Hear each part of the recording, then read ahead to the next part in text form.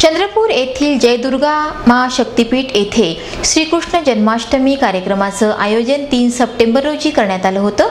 या कार्यक्रमाचं आयोजन सतीश त्रिवेदी महाराज आणि संगीता त्रिवेदी यांनी केलं होतं.